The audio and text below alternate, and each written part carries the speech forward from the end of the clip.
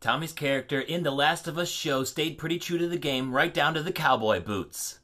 In the sixth episode, entitled Kin, costume designer for The Last of Us, Cynthia Summers, had Tommy's character, Gabriel Luna, wear custom boots made by Alberta Boot Company out of Canada.